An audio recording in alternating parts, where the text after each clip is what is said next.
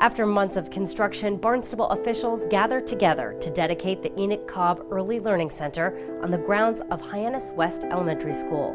Construction of the $2.3 million project began in March of this year and was completed in time for the start of this school year.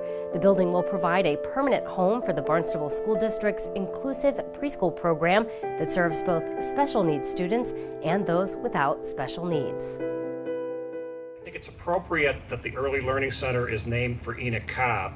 Enoch Cobb was a Barnstable resident who died in 1876, leaving his entire property uh, in trust for the benefit of the children of Barnstable.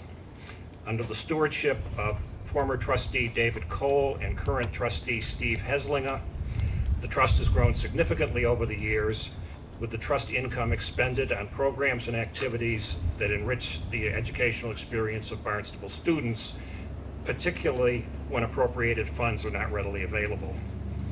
We're particularly grateful to Steve for his two-year pledge of $100,000 to acquire furniture and equipment for the Enoch Cobb Early Learning Center. It's a cliche to say it takes a village to raise a child. Here, we have a case for definitely taking seven villages to um, for the amount of cooperation and collaboration that it took to pull this project together. It was one of Dr. Czajkowski's first projects. When she came here, she saw the need and and talked to the school committee about it. Um, and from there, it moved on to collaboration with the town business department, with the town manager's office, and certainly with the um, members of the town council. We hit some bumps in the road, but uh, worked it out together, and we stand here today um, in unity to uh, be grateful for this building and all that worked on it. Thank you. You know, if this project had a theme song, um, it would be The Long and Winding Road.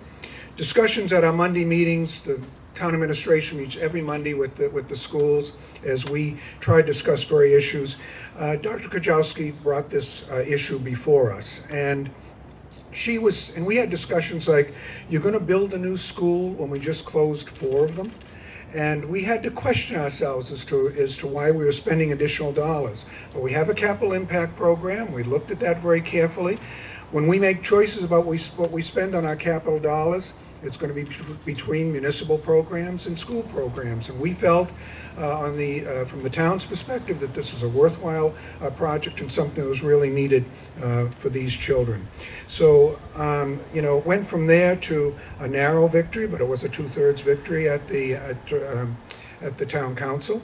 And uh, then we did our RFP, as, as, and as we mentioned, the costs came in, and they were they were very different.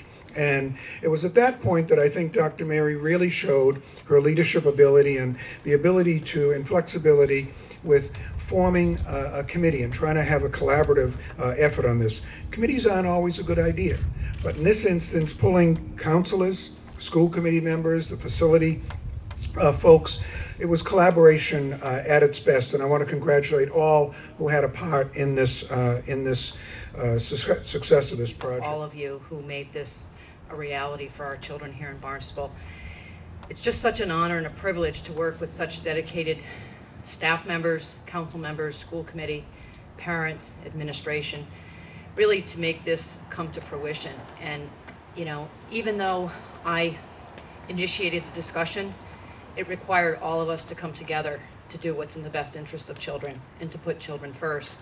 And we did that. And so as I walk in today and I see this cl these classrooms, the beautiful ways that they have been set up. And for so many years, our teachers here, for the past 21 years, have been teaching in inadequate spaces. And to have a space where a child is welcome into an environment that they can learn and teachers can teach is really amazing. It's incredible. And I know for years to come, you know, our children will be the beneficiaries of this. And uh, it's just a privilege and an honor to work with all of you, and thank you for all your support. One of the the biggest benefits I see so far is having all of our staff in one location. So having a school building that has almost half um, the population being special education students, it really requires a team effort um, of therapists and teachers. And this facility and having everybody in one location really allows us to do the consulting and the collaborating that we really need to do to work with the kids.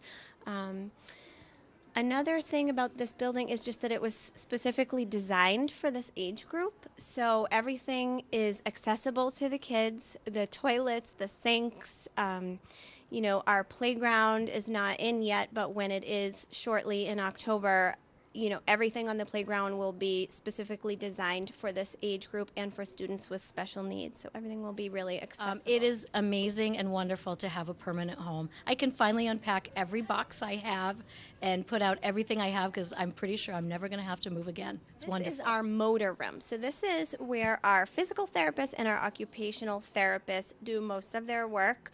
Um, they go, they do go into the classrooms and work with the students in the classrooms, but they also take small groups of kids into our motor room to do work on balance and strength and coordination and really get them using their gross motor skills and their fine motor skills and really practice the areas where they're weakest.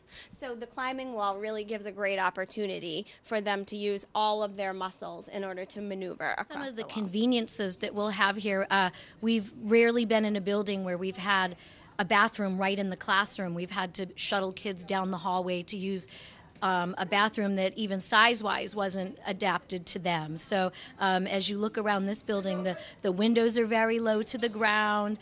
Um, the sinks and the toilets are very low to the ground. Uh, everything was really made with um, students three to five years old in mind. Classrooms in the Enoch Cobb Early Learning Center are also equipped with smart boards specifically designed for preschool age children.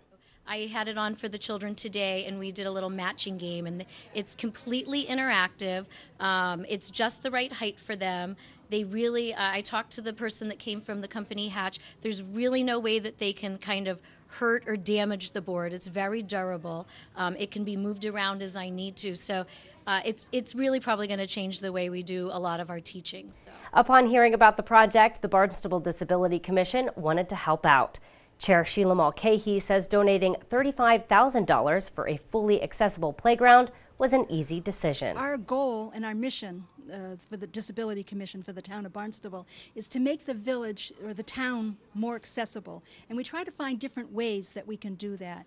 We had heard about this new school and we were very excited about um, that they were going to be integrating kids with disabilities with kids without disabilities. And we realized that they needed a playground space where they could learn to play because we think playing is just as an important learning process as it is the, the didactic learning process in the classroom. Um, so we met with um, several different town officials, the superintendent and, and, um, and, and I like to call him our mayor, but um, and some council members, and we um, and the architect that was designing the playground, and we came up with the with the seed money, and we donated thirty five thousand um, dollars towards the playground, and it was a huge chunk. And because of that donation, they were then able to look for other grants and other foundations that could help um, complete the, the cost of the playground. We love it because it is designed specifically for children with disabilities. And um, the architect's dream um, is going to be realized, and I think the kids are going to find that this is going to be wonderful. And we've done so many different projects for um, other people with disabilities within the town of Barnstable, but they tend to be more adults. So we found that, that um, working with the kids was a great foundation to We're so with. grateful to the town and, and for Dr. Czajkowski for uh, putting forward this project um, and educating people as to the importance of this. Uh, so, you know, as a teacher in this program, uh, so, so grateful.